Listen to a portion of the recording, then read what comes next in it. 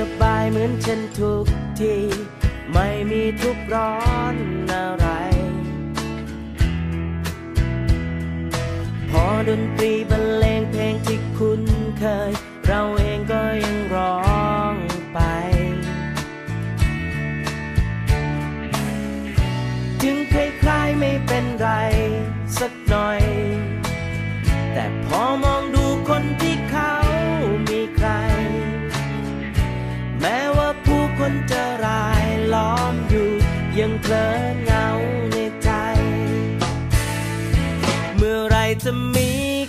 เราเจอกันที่มหาวิทยาลัยหอการค้าไทย ตอนนั้นไผ่เรียนอยู่คณะเศรษฐศาสตร์หนูอยู่นิติศาสตร์อ่าอ่าแล้วก็มันจะมีเหมือนกับว่าเป็นเข้าค่ายเป็นไอ้นี่เหมือนเอายังเหมือนเหรอ เหมือนเป็นการแชทของเด็กในมหาวิทยาลัยด้วยกัน อืม ก็แบบต่างคนต่างก็ไปทิ้ง ทิ้งไอ้ตอนนั้นยังเป็น MSN ใช่ ไปทิ้งไว้ตอนนี้ปิดไปแล้วแล้วตอนนี้ก็ตอนนั้นก็เพื่อนไผ่แอดมาก่อนไผ่ก็แบบเออแอดมาเห็นว่าเป็นผู้หญิงต่างคณะอะไรอย่างนี้ ก็คุยกัน คุยกันสักพักหนึ่งจนวันหนึ่งเป็นงานกีฬาแม่ทรายได้เจอตัวจริงกัน เราก็เลยแบบชอบรักแรกพบ แต่ไม่ได้บอกเขาว่าแบบเฮ้ยเราชอบอะไรอย่างนี้ก็เก็บไว้เพราะว่าพูดมากไม่ได้ว่าแบบเออเป็นผู้หญิงใช่ปะอืมแล้วหลังจากนั้นเขาก็ไปเข้าค่ายอ่าแต่ไม่รู้ว่าได้เบอร์เรามาจากไหน ก็ไปนั่งเหมือนบอกว่าเหงาเข้าค่ายแล้วเหงา ก็มานั่งไล่เบอร์แล้วเจอเบอร์เราก็โทรมา หลังจากนั้นก็คุยกันมาเรื่อยๆเนอะอือฮึแป๊บเดียวสิบปีน้ำเดียวเองสิบปีอะไรอย่างนี้ เมื่อไรจะมี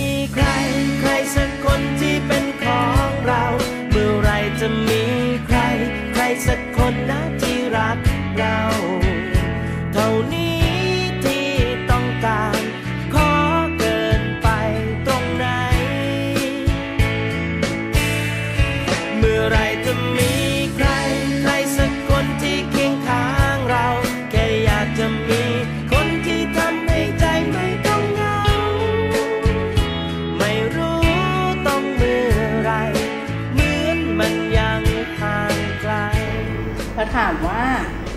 ประทับใจตัวเขายังไง คือเขาเป็นคนที่รักครอบครัว คือถามว่าเป็นคนเจ้าอารมณ์ไหมเป็นแต่คือเขาจะยอมเราอยู่แค่คนเดียว เป็นคือเขาไม่เขาไม่ยอมใครเลย ยอมเราเราจะทำให้เขาโกรธแค่ไหนเขาก็เออยอมไม่ยอมไม่ได้หรอกก็พี่คนเดียวนี่นะเออประทับใจเราตรงไหน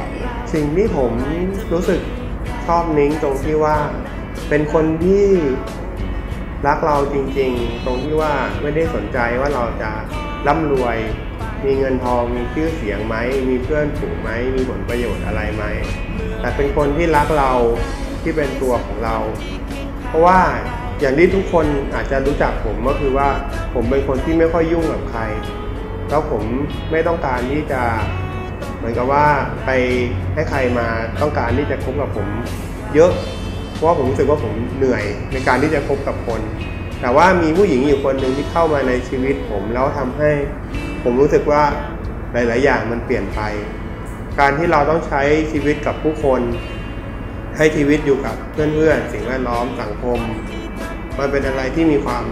หมายในชีวิตมากขึ้น เราผ่านอะไรมาด้วยกันหลาย ๆ อย่าง ตอนที่ดีตอนที่ทุกข์และตอนที่สุขทุกอย่างเป็นความทรงจำที่ผมไม่สามารถหาจากผู้หญิงคนอื่นได้ เพราะฉะนั้นผมจึงเลือกที่จะรักเขาและรักเขาไปทุกๆวันจริงอะจริงเขาก็รักตัวนะเขาก็รักผู้หญิงคนนี้และจะรักตลอดไป เหมือนกัน